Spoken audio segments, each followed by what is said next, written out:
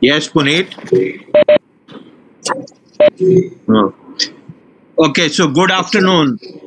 So uh, uh, I think uh, we are ending uh, week seven, and I was going through a lot of discussion which are happening each week, and I'm so happy to see that each day there are more than 200 messages, question answers, which are being uh, done on the app.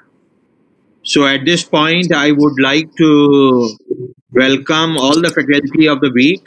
We have Dr. Elimelu, Teju, we have, uh, in addition, Percy, Ankita, Neeraj from Jodhpur. Who else is there? Who has joined? Pratima? Yeah, right now uh, uh, uh, these people have joined. So we are expecting uh, Dr. Sriram and uh, Dr. Sai Sunil also to join. Valimila's name is there. Yeah, yeah. Yeah, so I said that. So Yes. we are going to have a short presentation by Varnati's team on the art and practice of CPAP. And after that, we will take few of the questions which are repeatedly asked in the app. So over to you, uh, Percy and Ankita.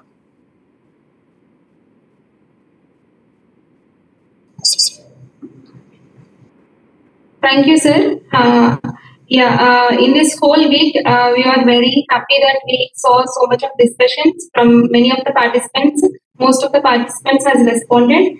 Uh, now, just I wanted to summarize in the whole week uh, what we had learned and uh, what we had discussed in this week.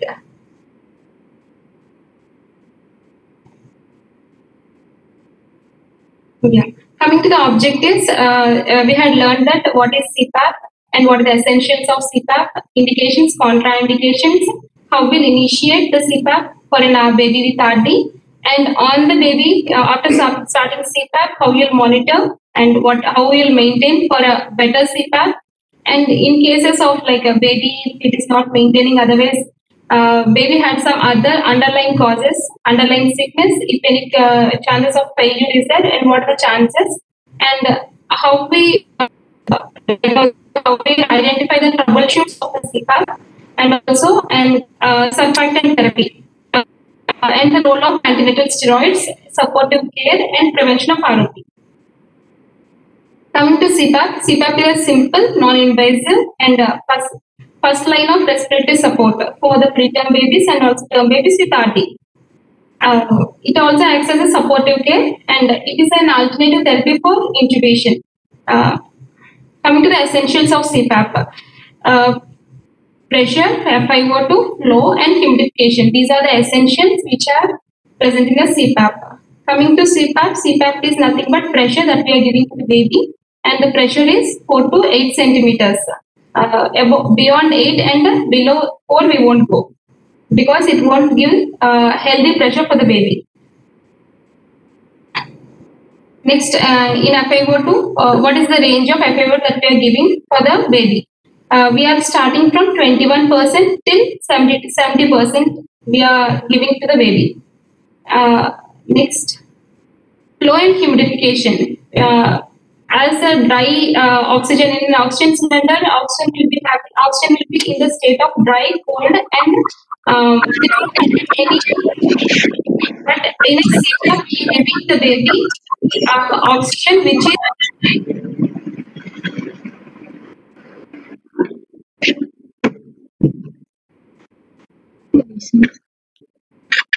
is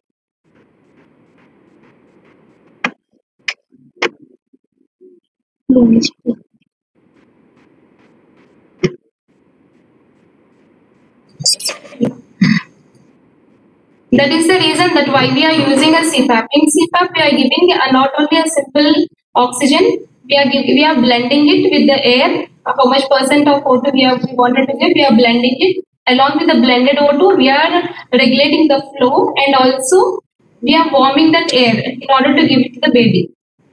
What are the indications that we are giving uh, CPAP? In in the indications are spontaneous. The baby should having is have a spontaneous breathe, uh, baby should have spontaneous efforts for breathing. Then only a CPAP can be initiated. Mm, for a preterm baby and also respiratory distress more than Silverman score, more than and in recurrent apneas and also after the post extubation.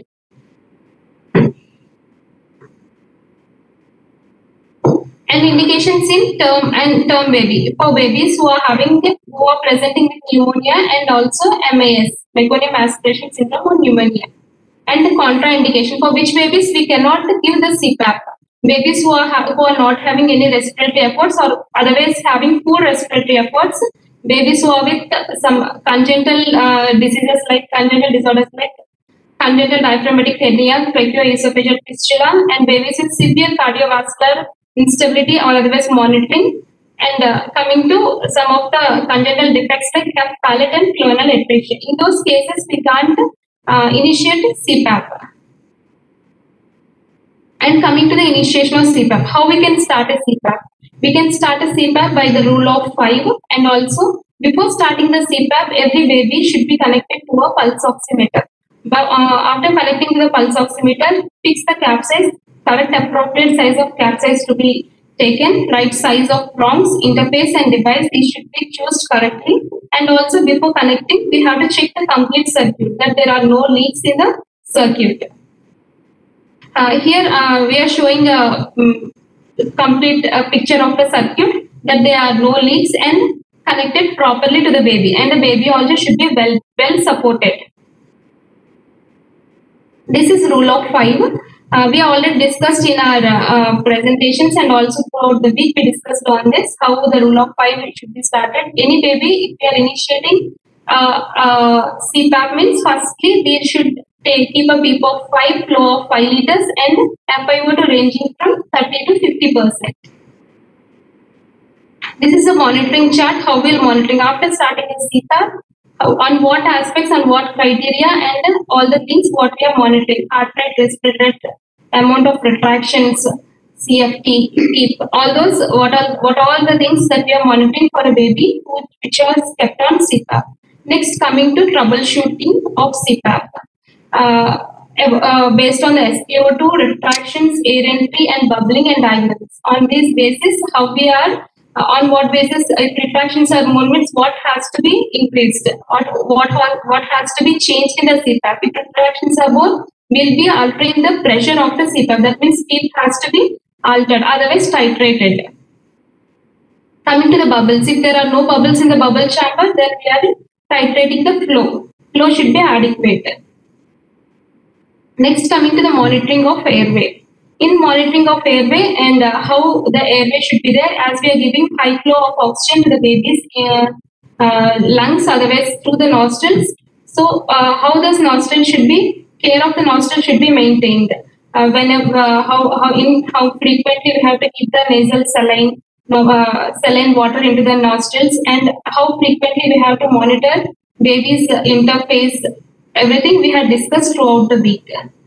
Next, coming to the adequacy of CPAP. That means uh, whether the baby is comfortable on the uh, CPAP or not. What all the things that we are uh, maintaining and what all we are missing. This has to be maintained throughout our shift. And uh, throughout the week, everyone has uh, responded very uh, appropriately and aptly. And like uh, they, they are how much care they are taking. We had noticed so much.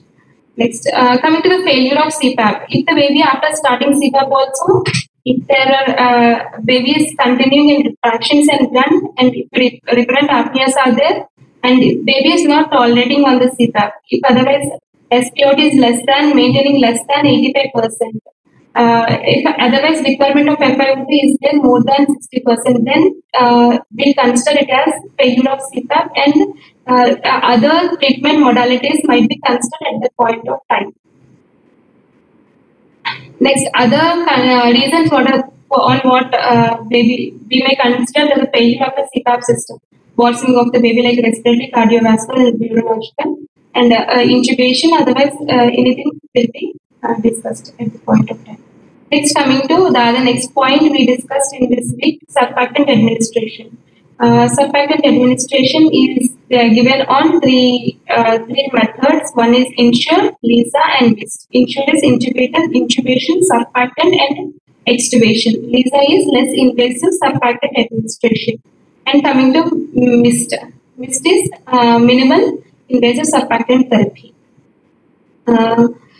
In- initially, we used to do only INSURE, but in these uh, recent days, uh, many of the tertiary care centers mostly they are following this LISA and MIST and we, we got many like uh, many uh, people has asked about Lisa and Miss and they had uh, given a feedback nice feedback on this Lisa and Miss also.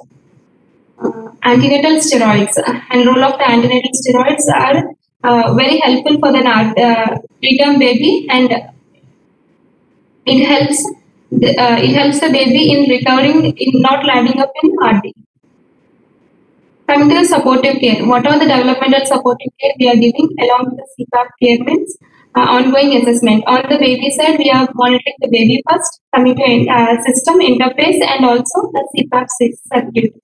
Uh, that we are ensuring that there are no leaks in the CPAP circuit. Coming to the airway, uh, there should be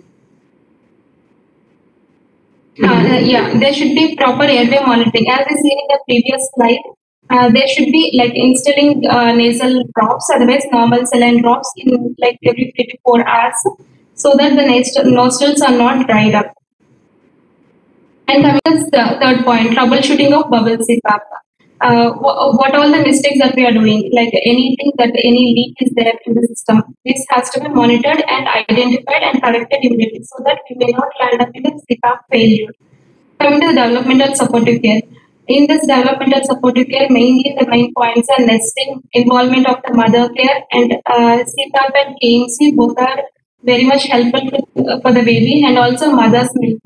Own mother's milk is much more helpful in this uh, developmental supportive care, and also that avoiding loud noises, bright lights to the baby. These may help it for the baby, which is more irritable and on the CPAP system. And coming to the last thing, pain relief, positioning, and feeding. Prevention of ROP. Uh, as ma'am discussed in the in the video which was given in our content, uh, management of RD, if, if we are uh, managing properly uh, and if we are giving appropriate oxygen to the baby, it will reduce ROP. ROP is completely a preventable thing. And if we are on proper monitoring basis, if we are monitoring the pulse oximetry and whatever the oxygen which we are giving to the baby, if we are monitoring it correctly, definitely ROP is a preventable thing. And uh, we may not see any baby going into blindness. Um, and careful use of food oxygen. Whatever we are giving the oxygen, as oxygen is a drug, so it has to be monitored and under monitoring only we have to administer the baby. Target SpO2 is 90 to 95 percent. We should uh, baby should not go above 95 percent when the baby is on oxygen. Severe hypoxemia or uh, hypoxia, hyperoxia both will affect the baby and will cause uh, uh, more major damage to the baby. Take home messages. As we discussed the whole week, the CPAP is, uh, is only for the spontaneously breathing infants, which babies are having uh, respiratory efforts. And PEEP can be based on the retractions of the baby and on the chest x-ray. How much lung spaces are present in the x-ray. Uh, based on that, we'll be adjusting the PEEP. Coming to FiO2, uh, uh, based on the FiO2, SpO2 of the baby, FiO2 can be titrated. Coming to the uh, flow. Flow can be titrated based on the bubbling. The minimal flow can be kept as 4 liters, maximum till 8 liters.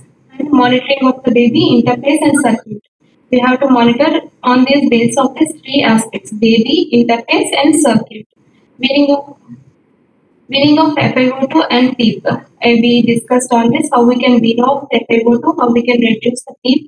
PEEP can be reduced by one step, one, one centimeter decrease. Like that, we can reduce the PEEP.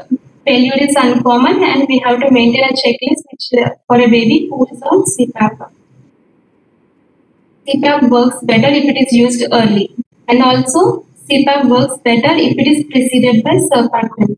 Because uh, CPAP, we know that we had understood and we had learned that CPAP works well and also surfactant also work, works well. So that's why we are uh, suggesting that otherwise it is proven that early surfactant followed by CPAP is better than delayed surfactant and, and landing of a baby in a mechanical ventilation. Thank you can, can, you, can you stop sharing your screen, please? Yes, sir.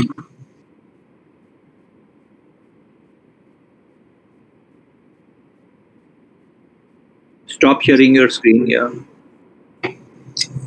Okay, so so thank you uh, for this nice summary. Thank you, sir. For the week.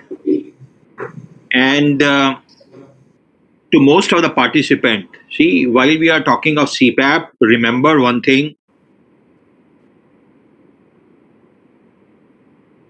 that modality which which works synergistically if you provide and you use antenatal corticosteroid.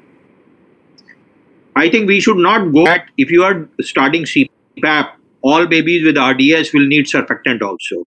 I think this is a misnomer.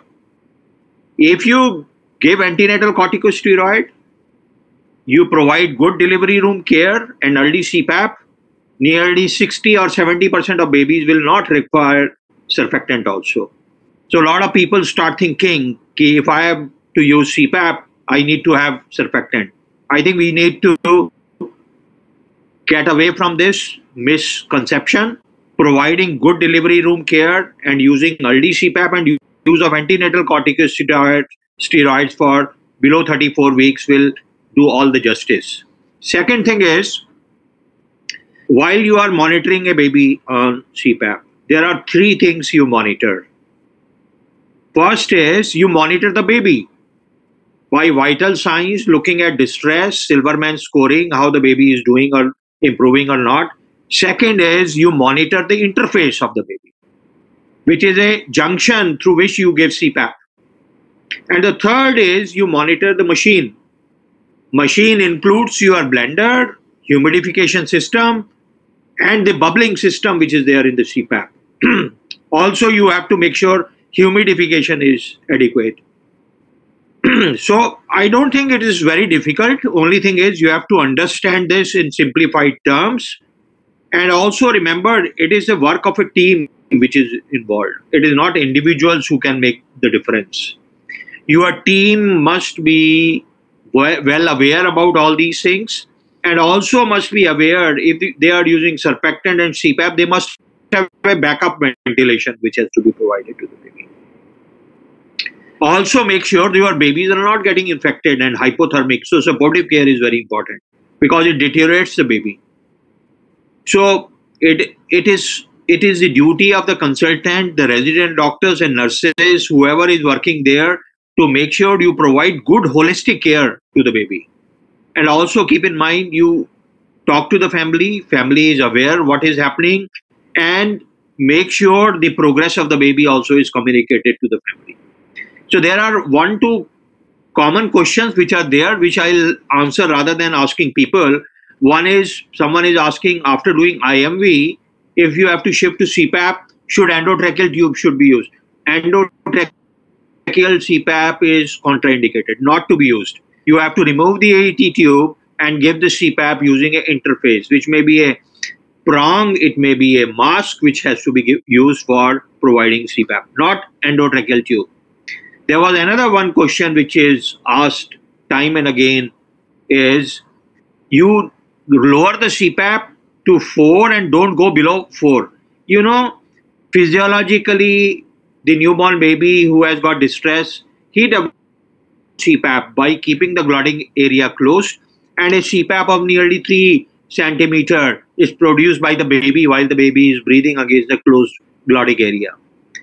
And that is the reason the grunt is produced. Baby is trying to create more pressure to keep his alveoli open so giving a cpap pressure below 4 is not required most of the time you start at 5 get to maximum of 7 as is discussed in your discussion and while you are weaning off come down on the FiO2 first and then on CPAP and at 4 CPAP with 30% FiO2 you can take that baby off from the CPAP and get to nasal prong or hood whatever you have in your system for giving CPAP.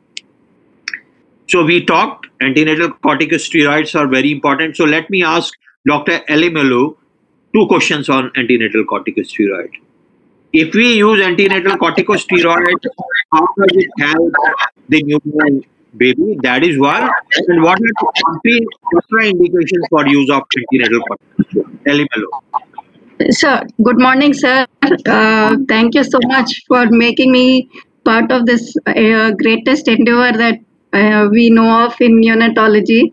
So thank you so much, sir, and I'm so happy to see the interaction. So we, it's been proven beyond doubt in and every scientific evidence supports the use of antenatal corticosteroids. Like you've told, it starts off so antenatally, it can make a lot of difference in terms of reduction of RDA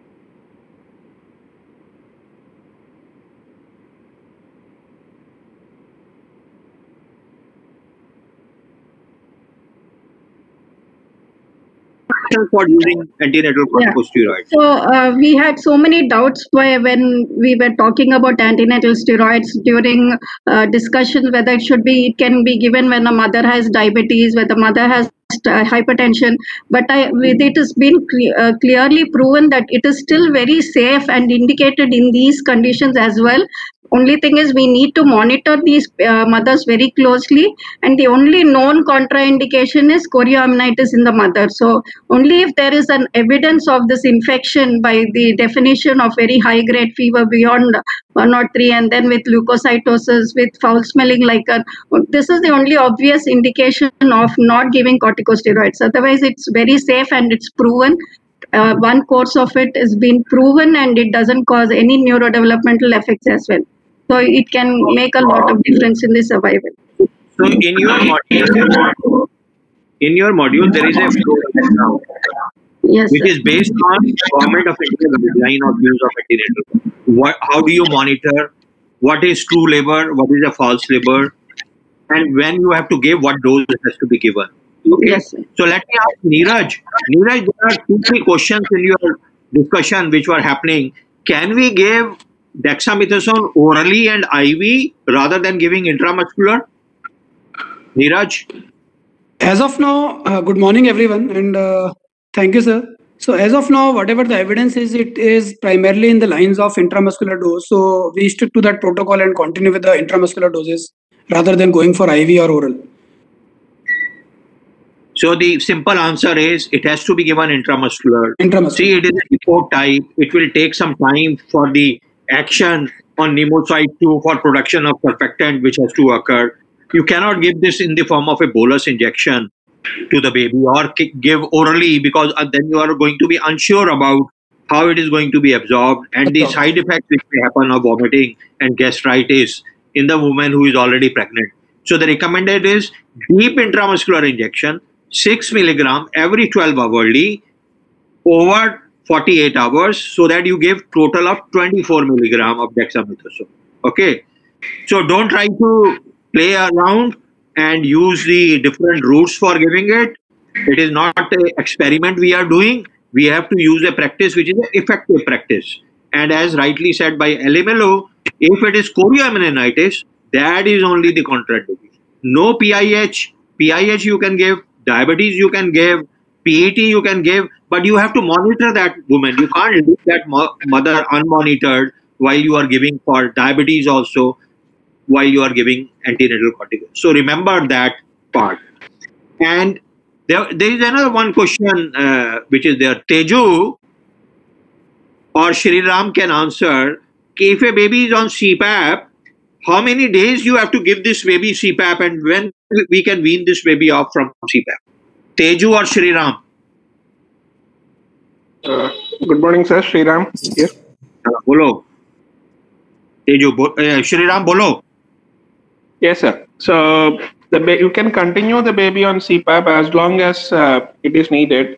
So if the baby needs CPAP, then um, there is no nothing like you have to give a certain duration because in preterm babies, uh, the babies tend to even grow on CPAP also. So if there is a necessity, real necessity that you have to continue CPAP for a longer duration, yes, we can.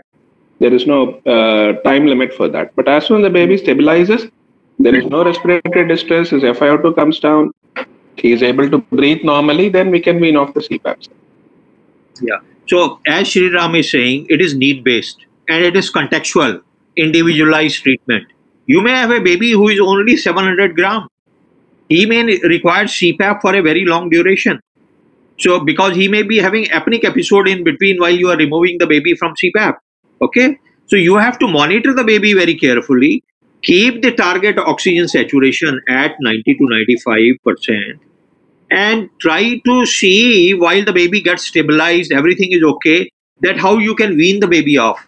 If you have continued CPAP for a longer duration, four weeks or five weeks on a baby, then sometimes it becomes very difficult for this baby to be weaned off. At this point of time, there are no clear guidelines how that baby will be weaned off. There can be periods of you can remove the CPAP for four hours and then re-put the baby on CPAP in one shift or maybe in a day then do it on two shifts and then gradually increase the duration and then the baby will learn how he is going to be off cpap okay? So i think these decisions are we can't teach you through the bookish knowledge. This is art and practice. It has to be learned in the unit with the team team is not you alone you cannot take decisions on your alone it has to be with your doctors with the other staff nurses and maybe medical officers who are with you so all these things should be kept in mind while you have to take a decision that this baby can be off CPAP. Okay, because we have seen babies for months together on CPAP, and then it becomes difficult for them to get from out from CPAP. It all depends. The baby may have landed up with chronic lung disease and he's oxygen dependent or maybe pressure dependent for some time because his lung is too compliant. It it caves in while you remove the CPAP. So in that situation, individual decision will be taken. But large majority, if your babies are about 1250 grams and baby is on CPAP and with surfactant, without surfactant insured, hopefully over next five days, seven days, you will be able to remove that baby. But again, it varies on from one baby to the other baby. Keep that in mind. So there is another one question which is there, uh, Neeraj. People are asking uh, how safe is indigenous CPAP? And what are the drawbacks of indigenous CPAP? Neeraj? Yes, sir. So uh, remember that I think uh, we have amply discussed about all the components of CPAP. So CPAP is not only the pressures or the FiO2. So the problem with the indigenous CPAP is that on one hand we don't have the blenders. You are giving 100% oxygen. So all of us are very well aware now that what are the drawbacks of giving so much oxygen which is going to cause toxicity and all problems like ROPs, bronchopulmonary dysplasias, NNECs, IVH, PVL. So that is one of the biggest problems. So we, whatever machine we take, we need to have a blender so that you can titrate your uh, oxygen concentration or FiO2 which you are giving. That is one problem. Second problem with the indigenous CPAP is that the the there is no proper way to humidify and warm the gases. So this is another major component of any CPAP machine when we buy that there has to be a humidifier and a warmidifier. So which means that you have a humidifier which is giving the gases, which is uh, increasing the relative humidity to 100% at 37 degrees Celsius and warming the gases. So problem with the indigenous CPAP is that the gases are, are cold and when these cold gases which are again unhumidified or dried, they go through your respiratory passage it causes a lot of uh, insensible losses. It causes a lot of drying of the secretions. And once we know that when these secretions are going to dry up in your airway right from your nose and nasopharynx right up to the alveoli so airway becomes narrow so your resistance will increase. So if the resistance is going to go up your work will increase and chances of cpap failure will be more. Simultaneously as it keeps on going down your alveoli will start getting collapsed so initially you may find that once you have started CPAP, indigenous CPAP, the babies improves. But after some time, because of these complications, babies have deteriorated and it invites infections. So uh, we need to be very sure that when we talk of CPAP or any kind of CPAP, these two components have to be there. They are must blenders as well as your uh, humidifier. And needless to say that though pulse oximeter is not a part of CPAP, but then it is it is an inherent part of that because you need to monitor your saturations and keeping a target of 90 to 95 otherwise you will cause more problem rather than causing good to the baby. So as neeraj rightly said indigenous cpap unless you are regulating oxygen you end up in giving 100% oxygen and that also is a dry oxygen. So it may do more harm to the baby rather than doing good to the baby So if you are in your unit, there are a lot of babies who are coming with respiratory distress. They die due to res- it is better you ask the administration to put CPAP machine there, get yourself trained, and then as a team try to use that for babies early rather than using late in your unit.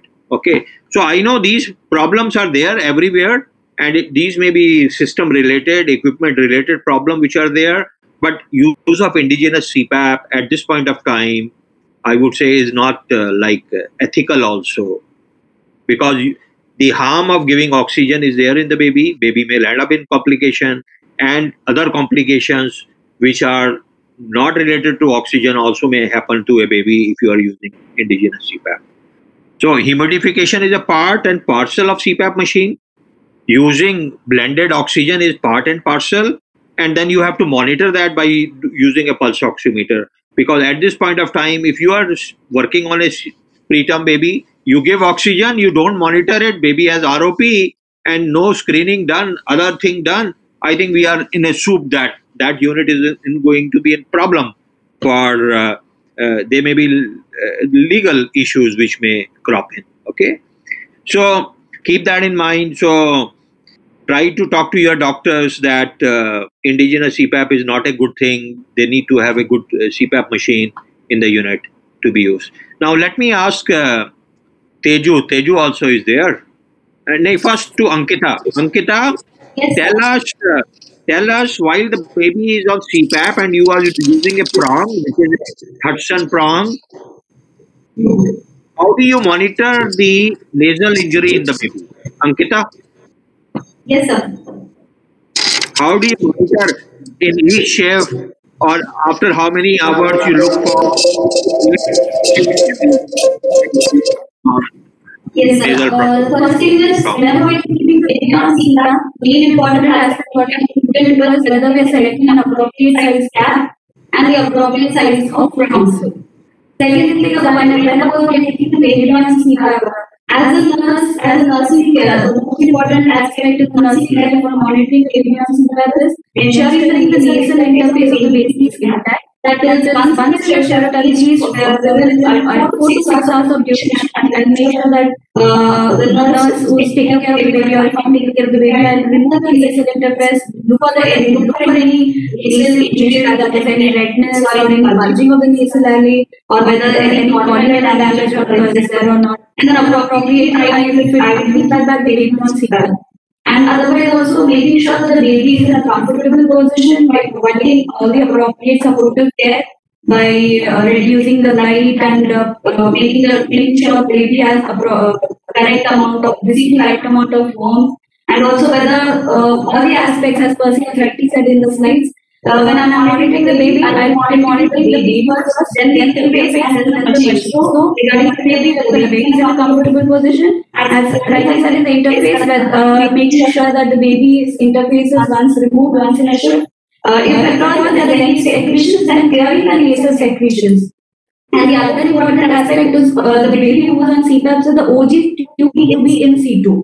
In order to in order to prevent the abdominal distension, which is uh, uh, which will lead to CPAP belly. So I also ensure that the baby as an OG tube is in situ when to enter the air. And also the machine aspect whether the whether there is proper vomidification and humidification, so the baby receives the warm warm and appropriate amount of uh, Thank you. air and oxygen. Thank you.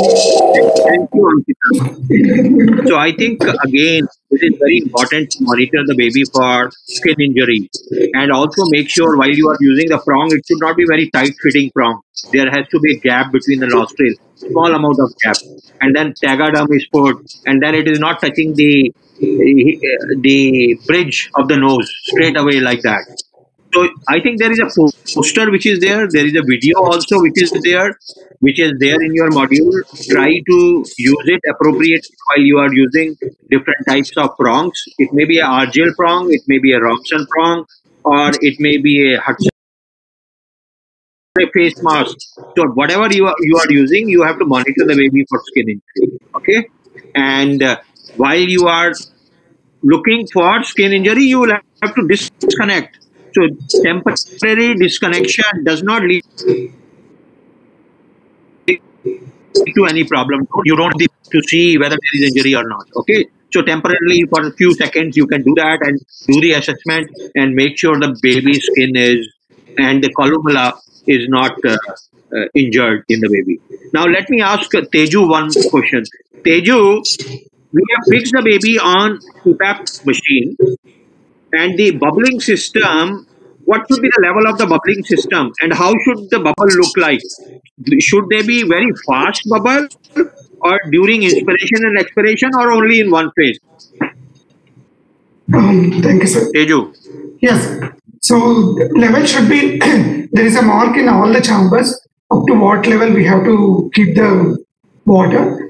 And uh, second thing is that bubbles should be just adequate to be there in the both the phases. That is both in the inspiratory and expiratory. It need not be that completely we have to hear from the distance that the bubbling sound is there for the baby. They have to be just adequate to the bubbling only indicates that adequate flow is there to keep the PEEP required for the baby. That's it. Uh, that's what we will be able to know from the bubble.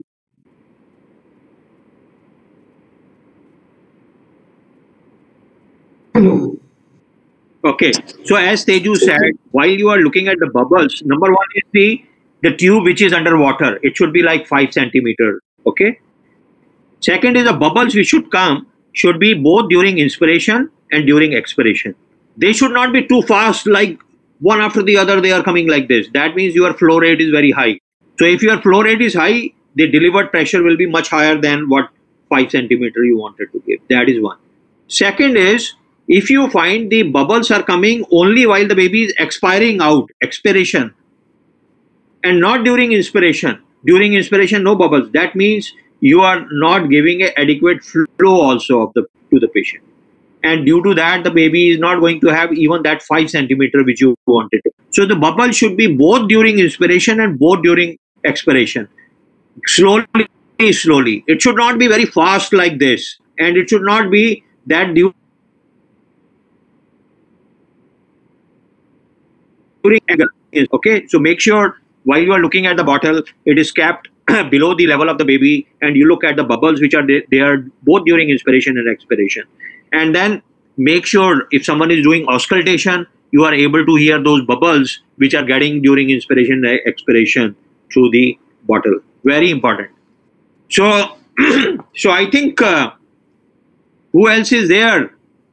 I think everyone has been asked one one one one question, and I was so happy to see all the and majority of the questions which are there in the chat box we have already answered them, and uh, there is one question that yeah Good morning, from sir. CPAP yeah. you have, uh, from CPAP do you have to get to HFNC or not? You can remove the baby from CPAP directly to oxygen by nasal prong or a hood straight away. There is no need that you start asking. Asking कि मेरे को तो H F Okay, so you can work only with CPAP. baby can be extubated to room air or nasal prong.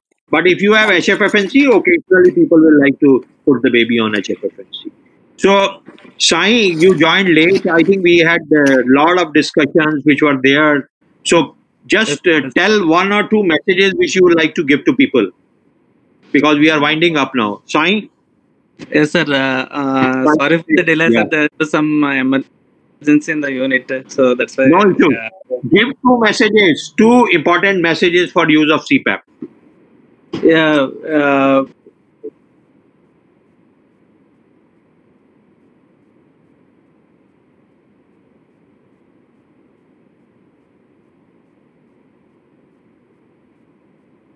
Can't hear you.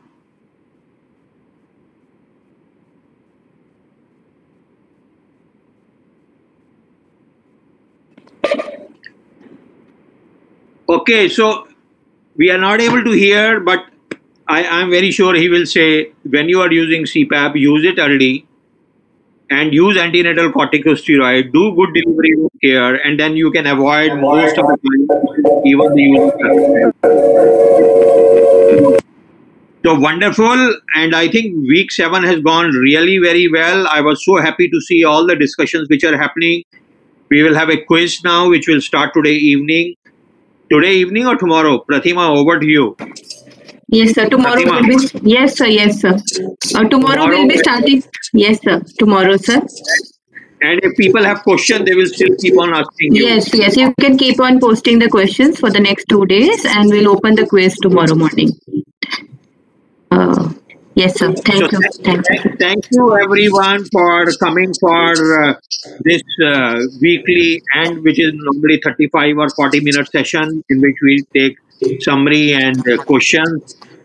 And I'm so happy that looking at the success of how the course has gone for nurses, we are going to start with a course which is going to be for fellows, for resident doctors, DCH doctors, and uh, even uh, SNCU's doctor who will get uh, into learning the course. Okay, and we will need help of all the faculty members who are involved at this point of time to run uh, to run the next course, which is going to be e-course for doctors.